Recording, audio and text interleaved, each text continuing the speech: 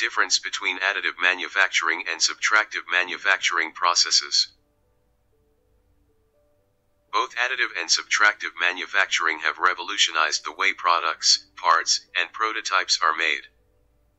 Additive and subtractive manufacturing technologies are advancing rapidly, with the advancement of technology. In this video we will discuss in a detailed overview of the main differences between additive and subtractive manufacturing. There are several fundamental differences between additive and subtractive manufacturing, in both processes and the end results. Number 1. Material processing type. Additive manufacturing is a process that adds successive layers of material to create an object, often referred to as 3D printing. In other words, in the additive manufacturing process, the object is created by adding material in layer by layer format. On the other hand, subtractive manufacturing, as the name suggests, this is quite the opposite of what additive manufacturing is. Rather than adding layers, in subtractive manufacturing material is removed by machining. It can be carried out manually in lathe machine, or automatically with CNC machine. Number 2. Type of approach. Additive manufacturing employs bottom-up approach, that is, in additive manufacturing, first the bottom-most layer is printed, and the next consecutive layer is added on top of the previously printed layer, and thus the final object is created. The subtractive manufacturing employs top-down approach, that is the material is removed from the top to obtain the desired shape of the object. Number 3. Material wastage. In additive manufacturing process, the wastage of material is very less, and usually the wastage is in the form of support material, but there are some 3D printing techniques where we don't even need support materials. But in subtractive manufacturing process we remove material from the workpiece, so this process produces lots of wastage, usually in the form of chips, vapors, scrap metal, dissolved ions, etc. Number 4. Type of fabrication or machining. The additive manufacturing process include 3D printing or layered fabrication. The subtractive manufacturing process includes traditional machining or CNC machining. Number 5. Type of operations in the process. The standard process in additive manufacturing process are 3D modeling, data conversion and transmission, checking for errors and preparing, building the model and finally post-processing, to create functional parts, products, or prototypes.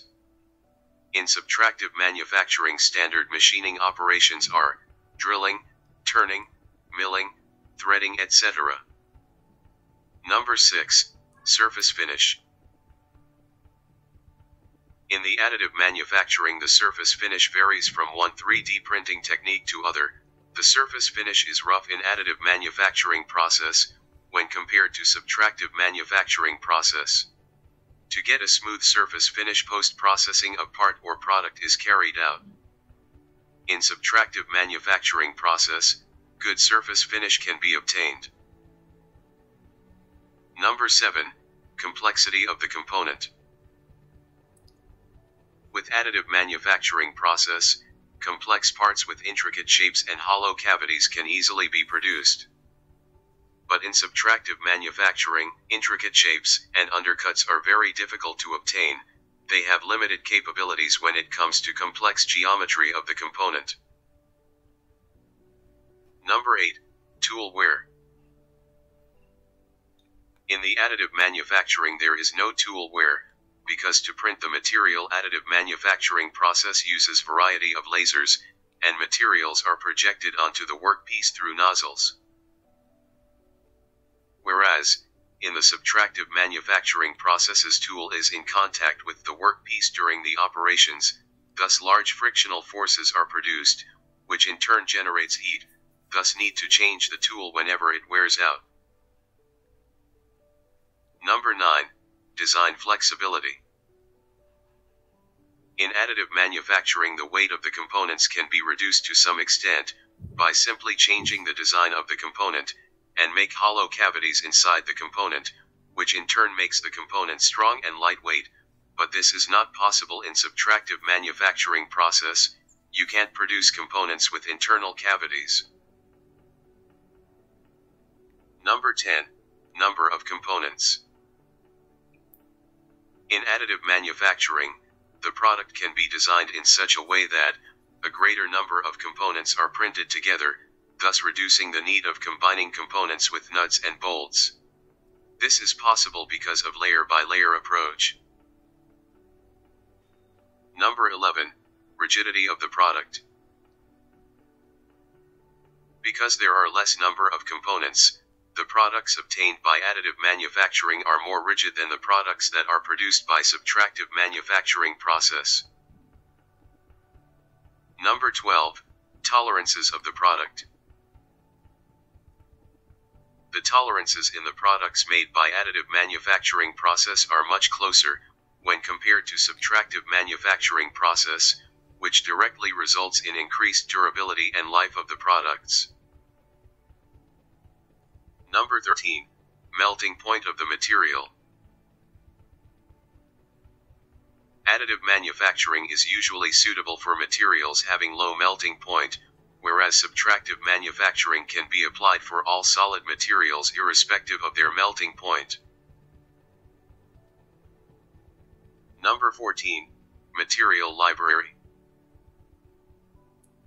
There are wide range of materials available to choose for additive manufacturing process, and are increasing by the day, such as ferrous and non-ferrous metals, variety of plastics, cermets, composites, biodegradable materials, biocompatible materials for medical surgeries etc. They are available in all forms and states. Number 15. Rate of production. One main disadvantage at present is, additive manufacturing is a slow process, time consuming but you can choose quality or properties as per your requirement, but the quality of the component depends on the type of additive manufacturing technique you have chosen, they vary as per the purpose and requirements. For example, if you want good surface finish you can get it in stereolithography process, for good mechanical properties and for functional use you can choose selective laser sintering.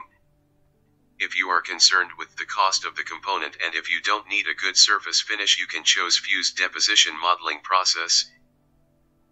If you want to display your design in a showroom for visual representation purpose, you can try laminated object modeling process, there are many other techniques available at present in the market. But the rate at which they can print the parts, will increase in the near future, as 3D printers have evolved in the last decade itself. Number 16. Skill of the operator. In additive manufacturing, there is no need for a skilled operator, once the 3D CAD model is loaded in the computer, the process takes place without human intervention, all we need to do is feed raw material, and after component is printed, Post-processing should be done with care. There are some techniques available where post-processing operation is not required. But in the subtractive manufacturing skilled machine operator is needed, either to write the CNC code or to manually operate a machine. Number 17. Type of production. For production of custom-made designs, additive manufacturing is the best, and subtractive manufacturing is suitable for medium to large scale production. Number 18. Equipment cost. The last difference between them is, the cost of desktop version of fused deposition modeling 3D printer is less than the CNC machine. But other additive manufacturing machines are costly. Thus 3D printer is best for science projects, DIY projects, to make parts for experiments, to decorate your home interiors, to play with your 3D printed models and CAD designs, and to do many more curious things. Thanks for watching, subscribe for more engineering concepts and happy learning.